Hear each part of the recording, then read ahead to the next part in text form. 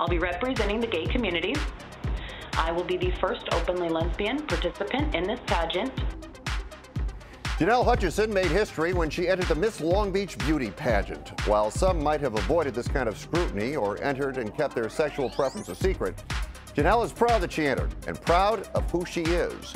And Jenelle is here with us on The Filter. Thanks for being here. Thank you for having me. Long Beach, a diverse community, but at any point were you concerned about what people might say?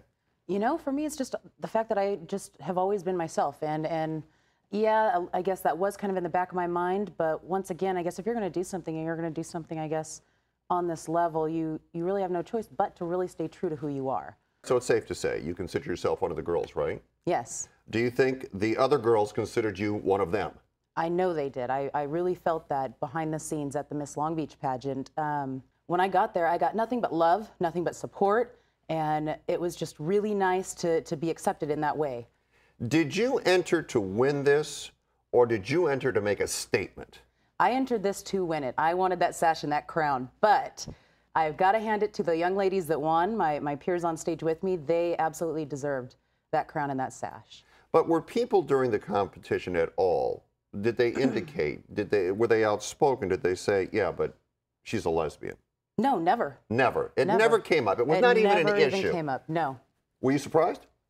You know, I was a little taken back by it. If anything, I mean, it, it really, honestly, it warmed my heart just to to feel that from them. During the traditional swimsuit competition, you wore handmade boy shorts and a tank top, a look out of the 1930s. Why'd you do that?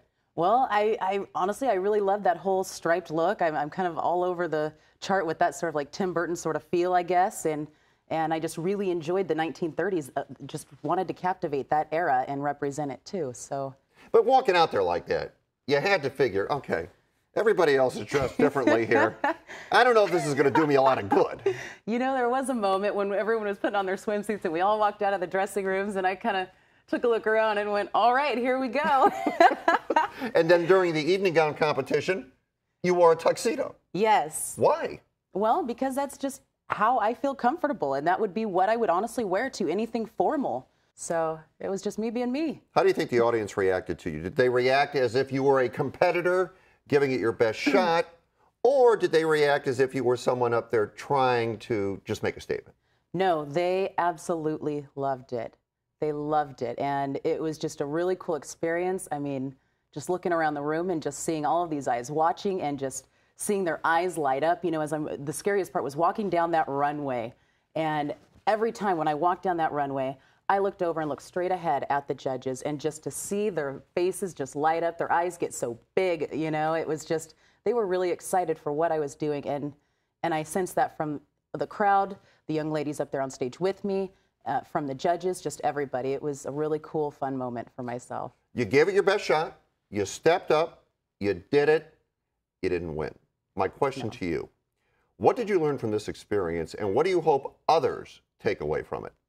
Well, I learned that, I guess, an ironic kind of way here, you know, putting yourself into someone else's shoes, I guess, you know, and, and never being a, a, pageant type person myself, or and even honestly being a skeptic and someone against them, by putting myself in that vulnerable place to go on stage and to see just how much guts it really does take to get up there and to talk on that microphone and to be who you are throughout it all. And all of that pressure, I have got so much respect for these young ladies.